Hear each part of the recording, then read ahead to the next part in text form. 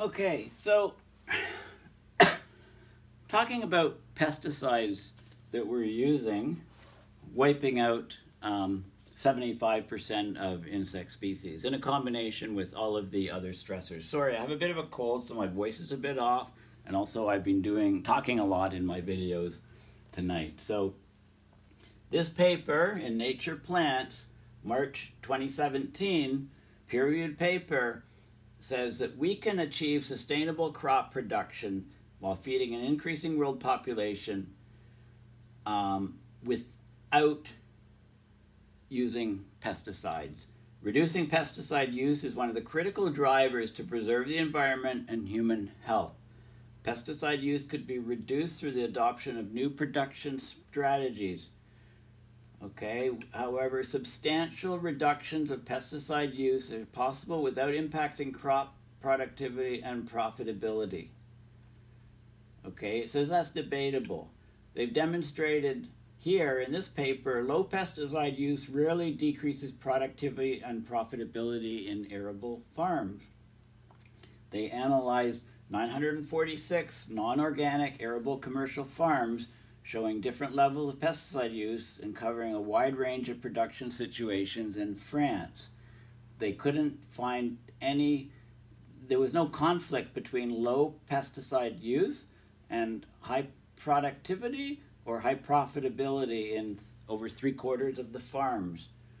They estimated that total pesticide use could be reduced by 42% with no negative effect on productivity and profitability in 57% of the farms. okay, generally we think of the hazards as being people that are directly exposed to the pesticides um, we'd think less of the environmental disruptions and the effects on insects and animals. Um, France is the sixth biggest European consumer of pesticides per unit of agricultural in area. In 2013, 7% of the population had been supplied at least once with drinking water that was over the maximum authorized pesticide concentration. So they, it gets into the groundwater, you know, it has to go somewhere, it doesn't just disappear. Okay, so there's some studies, uh, marginal effects on crop productivity. There's a lot of statistical analysis here looking at different types of, um, looking at um, the amount of pesticides in different crops, the change in the yields of different crops, using pesticides to using no pesticides, um, different crops at different times of the year, and things like that. So I don't want to go too much into the details here, apart to say that this study and other studies show that you know the idea of pesticide usage is just not, um, you know, it's way overdone. I mean, it's we've been we've been sold a bill of goods, um, in by pesticide companies, you know, who lobby the government, convince the government that they, have got a safe product and that you have to have these pesticides in order to get high yields and they've been used for years and now it's and you know it's wiping out insects. So there you go. Uh, it's it's destroying the food chain so this is uh, this talks about the insect pollinated crops how long-term yields um, are declining because of the uh, the, these neonicotinoid uses. And this is a chemical that is believed to just, you know, just take out bees, basically. So if you have less pollinators, then the yields go down. So lo and behold, they found that as you, um, you know, as you go from years, the yields peaked, and then as pesticide use got heavier and heavier, the yield dropped because the there were far less pollinators. That was the result of that study. Um, this is a very interesting article in Science toward pesticidovigilance. Okay, so we have to we have to be vigilant about the pesticides that we use. We have to se severely curtail usage, and we have to have proper studies done on all these pesticides at the same level that we examine pharmaceuticals and drugs that humans ingest. Okay, 500 active substances are used in pesticides, are approved, including insecticides, fungicides, herbicides, and plant growth regulators. Is it any surprise that we've taken out uh, a lot of the insects. What's not mentioned in the insect study, you know, and I'd love to see some studies, is we need to look at how, how, this, how is this affecting the microbes in the soils? You know, all of this stuff. Like the microbes, the prokaryotes in the soil, you know, they're cells with no nucleus, um, like bacteria and stuff, the decomposers, they decompose organic matter. Um, and it's thought that their biomass is about equal to that of trees, right? Half the biomass of the planet. Um, are these things being taken out by pesticides? What about by antibacterial hand creams and things? Shouldn't those be banned? You know, we really need to look if we're going to stay on this planet, we gotta we gotta do things. We gotta we gotta do things uh, properly, and I despair. You know, I thought social media was going to be great, getting information out across to people, and it could do that if the companies, the Facebook and Twitters and stuff, if they get rid of all of this fake stuff and we get rid of, you know, we, we have to have higher standards of information.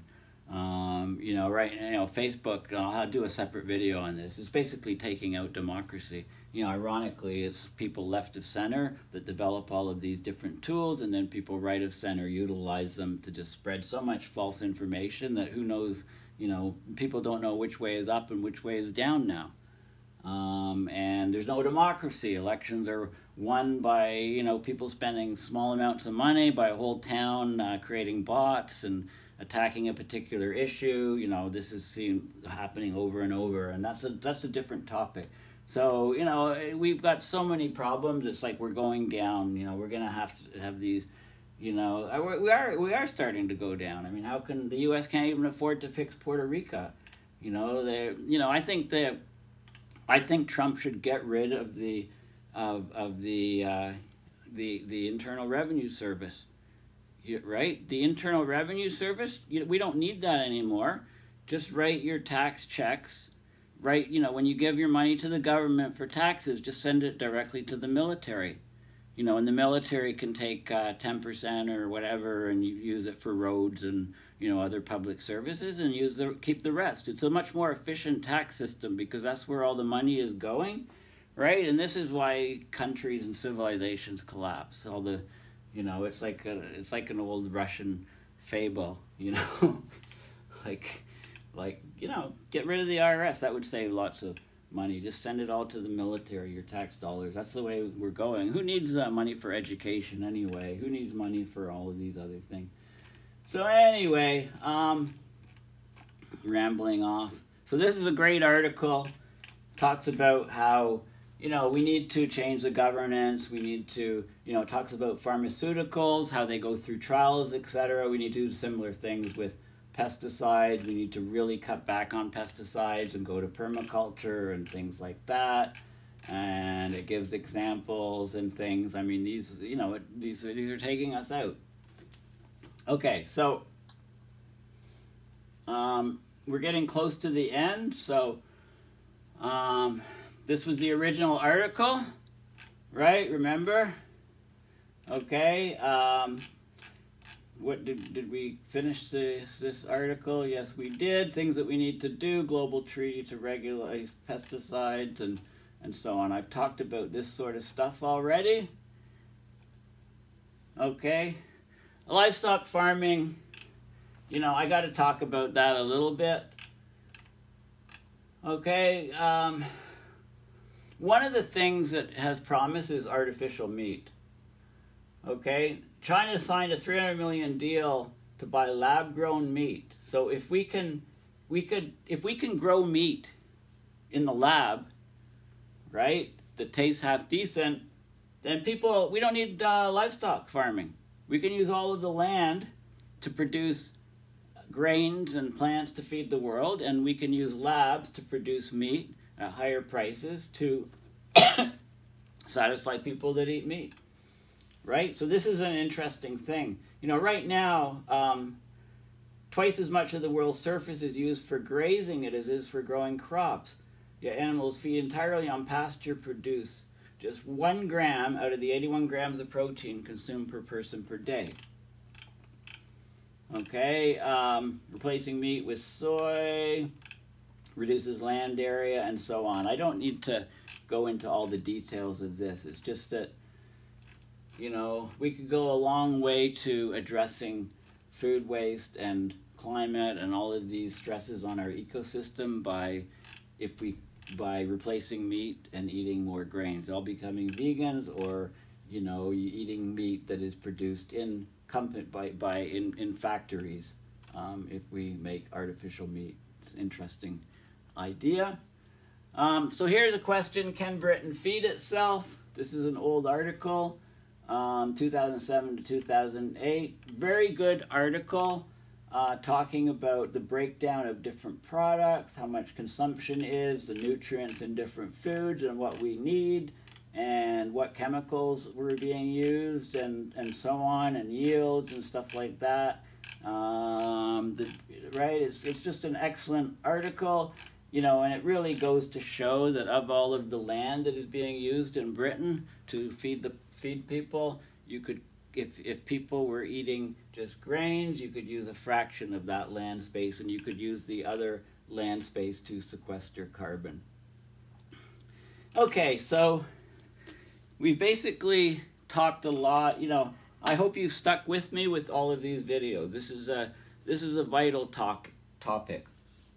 So the gist is, this is a horrifying study, but it's not un unexpected. It's not unexpected for anybody that has been driving a car in rural areas for years and basically had their car completely smothered with squished bugs um, on the windshield, on the windscreen, on the car, in the air filters.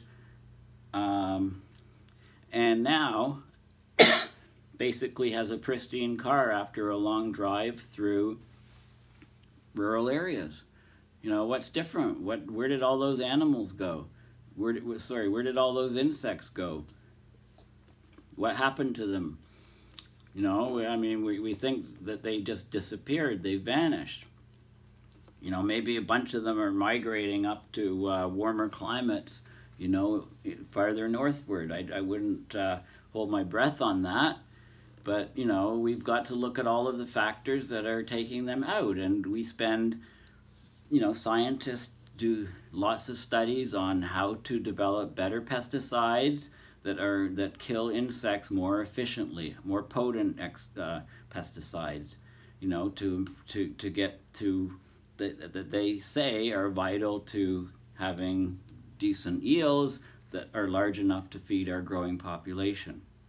Meanwhile, studies are coming out saying that, uh, you know, we know that permaculture rather than monoculture silviculture, uh, you know, using land differently, tilling differently, etc. We can revitalize the soils, which are degrading, we only have 60 years less, less left of crops on them, um, and uh, restoring the, uh, the bacteria and viruses and microorganisms in the soil to make it healthy, to do the decomposition um, efficiently, basically returning things back to nature. You know, we've taken we've taken working systems in nature and we've basically stuck a knife in them.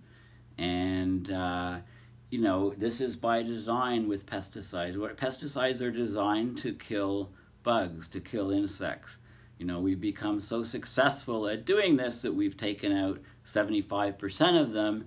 And, uh, you know, now we say, hey, well, wait, we need bugs because they're pollinators. You know we can't grow any food without pollinators. And like like come on. I mean we're, we're, we're, do we deserve to stay on this planet with all of these stupid idiotic things that we're doing? Um, you know uh, I, I, I, uh, I have hope that we're you know as long as there's people on this planet we got to start doing things and start thinking about things that we do and you know, political systems are completely broken, financial systems are broken. Yay, Dow 23,000, 24,000, 25,000. Let's get Dow 30,000 and then everybody croaks because we no longer can grow any food. I mean, is this what we're going to do? Anyway, thanks for listening. Bye for now.